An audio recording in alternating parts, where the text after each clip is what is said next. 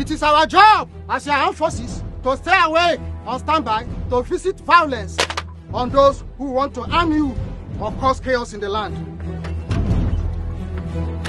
It is your job to sleep peacefully at night, while rugged men like us are awake to ensure peace prevails in the land. Patriotic Nigerians, it's our duty to always protect you. Come rain, come shine. But it's your responsibility to keep us motivated, show the armed forces love, and support us in these daring times. Our selfless love for our dear nation is inexplicable, but as always, we need your support. Last last we go do all right. War, war, war. Love our country! Love our country!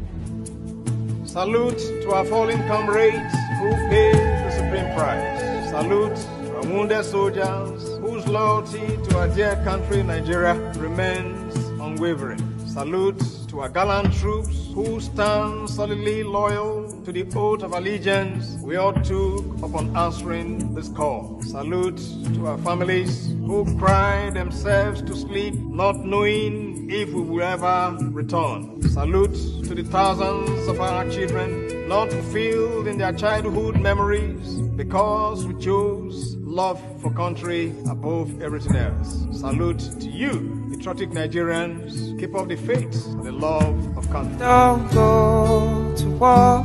Even when death stared me in the face, I stepped back, knowing fully well that my duty to Nigeria comes first.